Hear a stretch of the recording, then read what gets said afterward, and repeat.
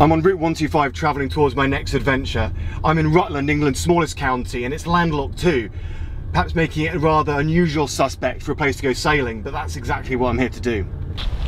During the 1970s, the village of Normanton was partially flooded to make way for Rutland Water, and I've come here to sail across a road that used to go through Normanton and to check out the church, which is half flooded. Hi Steph, nice to meet you. Morning. Uh, thank you very much for coming out to meet me. You're very welcome.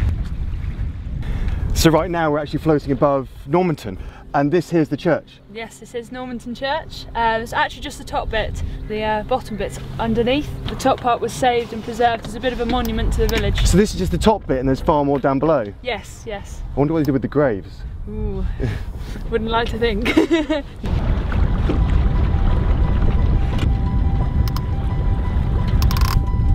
So just over there is the other side of the road, which would have originally gone through the village, and we're just about to land. We've gone over the flooded village, adventure complete.